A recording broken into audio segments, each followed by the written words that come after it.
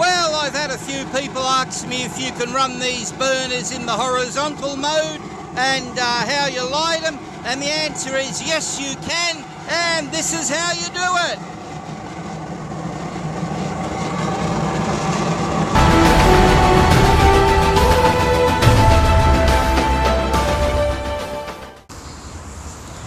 I've had some uh, viewers ask me about firing these things horizontally.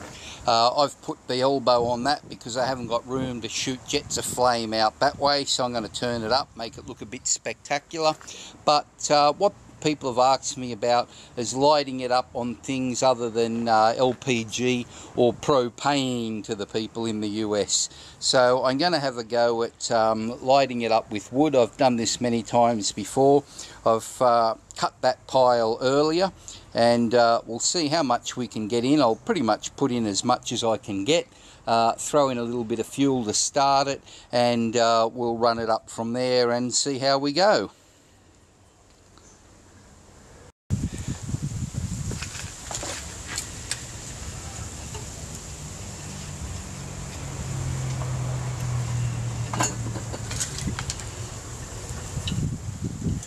That won't bit, bit won't fit. Get that one in. I've got some um, smaller, finer pieces which happen when you cut the wood normally. I'll um, put those in, they'll help it start. It wouldn't be a bad idea to actually do this before the thing is um, laying down. It'll drop right in that way, I wasn't thinking. Uh, but I've already got all the air supply um, taped up because I don't have a way of taking it on and off easily because I'm using so many. But a smart person would um, load this with the, uh, the thing standing upright so uh, it all falls to the bottom and probably make the job much easier. Anyway, that's what you get for uh, live television.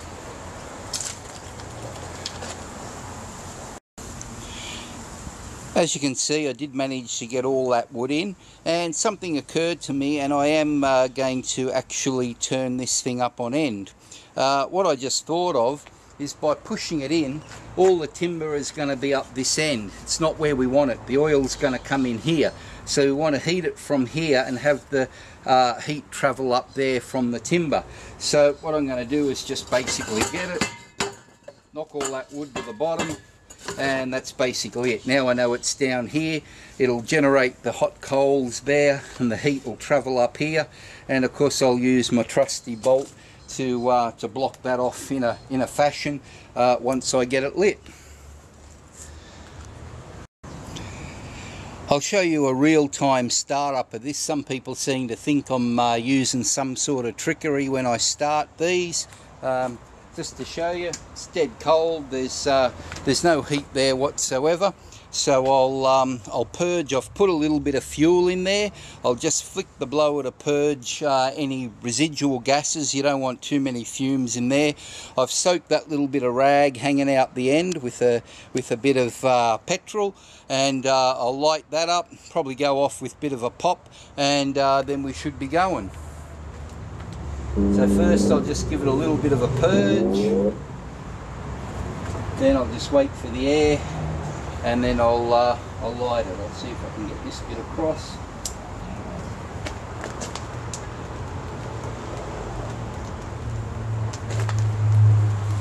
And I'll put that bit in. Right, give it another flick. Yep, I can hear that burning inside.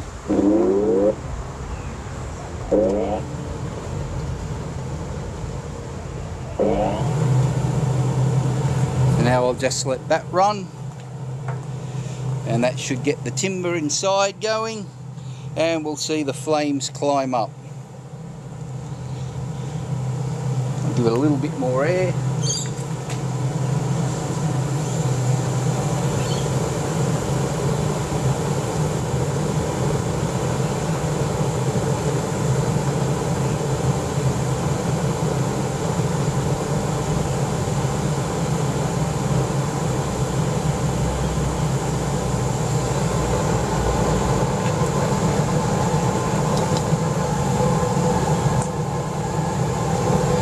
Might be able to see now that the uh, the wood is taking off and there's a bit of smoke starting on the bottle.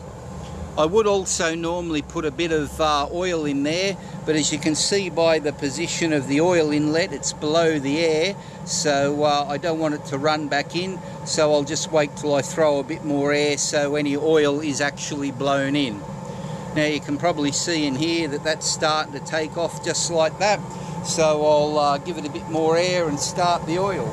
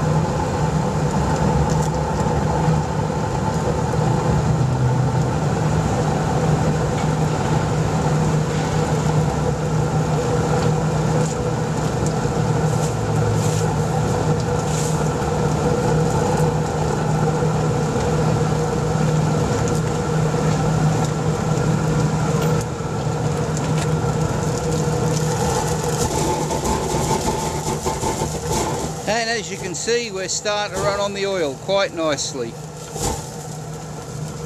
I think I have flooded it in there a bit. I can see some extra, but we'll, uh, we'll see how it goes.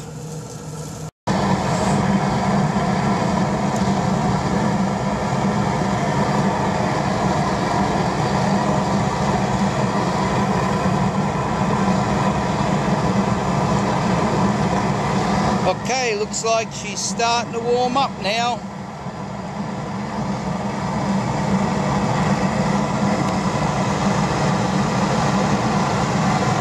And there we go.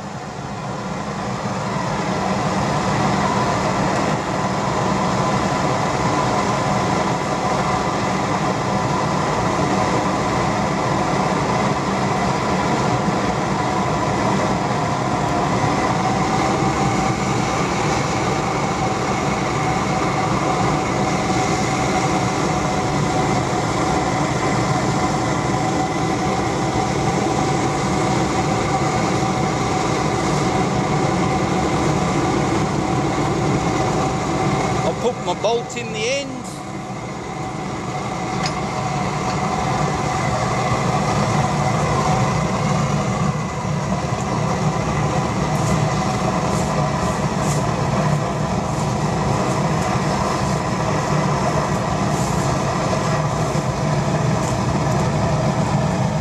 Oop, running out of fuel.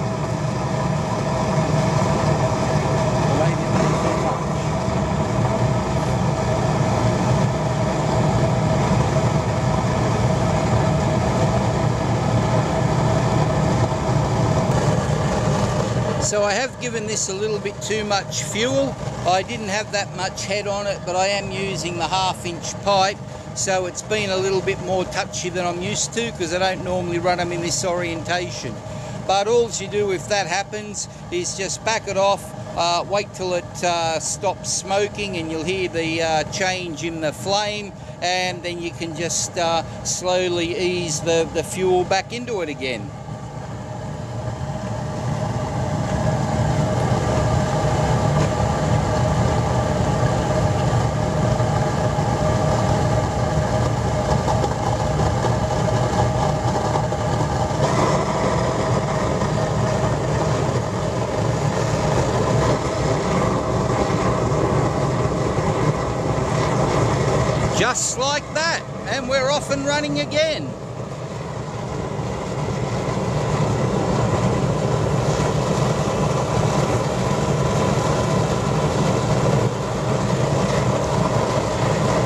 Now obviously you normally would have a better thing on that uh, bolt on the end although you could have the uh, flame exiting that way as well if you wanted.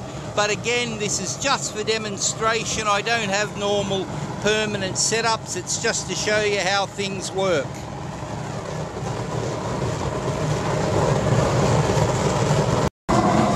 oh no look at that there's some smoke I'm gonna have all the environmental Nazi faggots complaining now as if I'm gonna end the world with this little bit of smoke obviously if you had this set up in a permanent configuration you'd have that hole better blocked with a bolt or a screw-in fitting and you wouldn't have it. But just watch and wait for somebody to have a whinge and whine about it.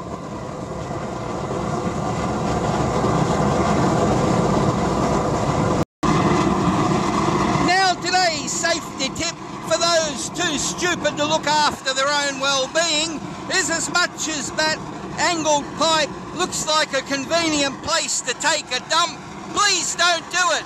You'll get the best back crack and sack wax of all time, and you just might not like that as much as you thought. This is a burner. It's not an apparatus for taking a dump in. That's what your backyard's for. You know, viewers, I just can't wait for my new neighbours to move in.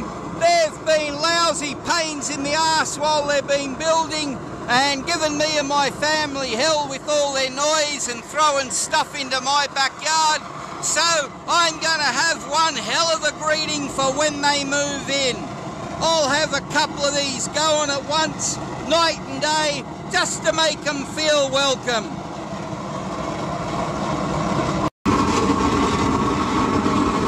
Now for those viewers a little bit slow on the uptake, this is just one of my burners, which I've got loads of other videos on my channel if this one is the first one you've seen. And all I've done is where I normally run it in the vertical position, I've just tilted it horizontally. They work just as well, if not better, because there's a bit more surface area. There's uh, a lot you can do with these things and it's easy to change the orientation of them as you can see.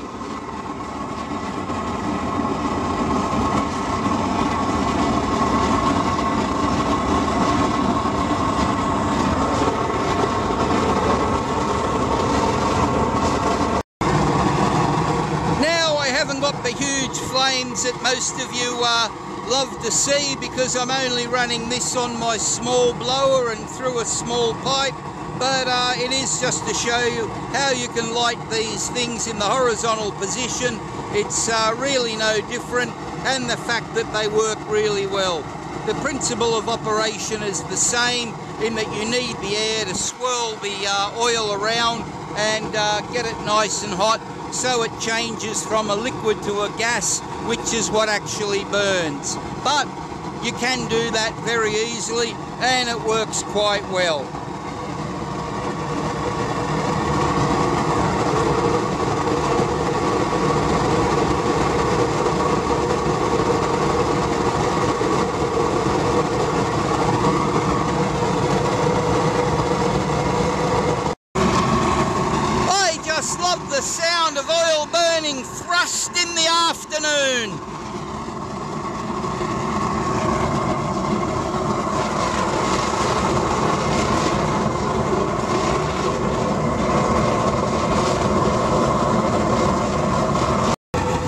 Now, just for the inevitable questions, here's the overall setup.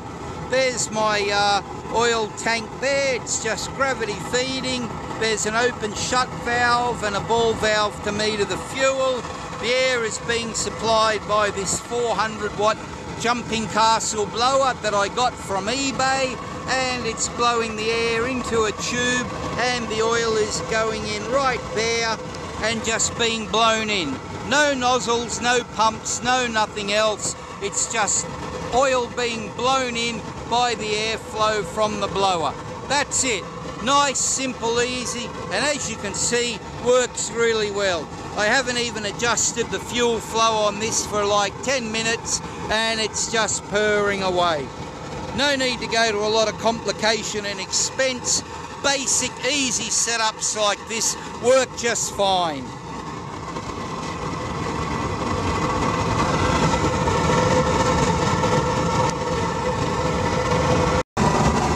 Now one thing I have just played with and tried is just tilting the uh, burner back to the inlet side a little bit. Obviously the air is trying to push the fuel up to the outlet uh, and you don't want it all burning up there. So just a little bit of a tilt to combat that seems to make it burn just that little bit better, um, more or less the way it's designed.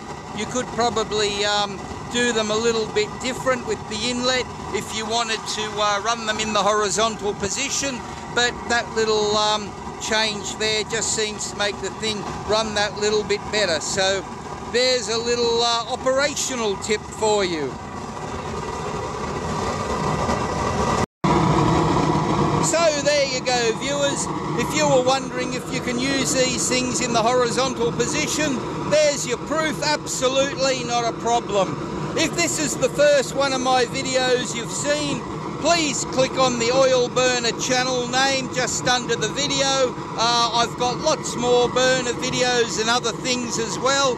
And uh, if you enjoyed this, please subscribe. Don't forget to click the like button and uh, thank you very much for watching.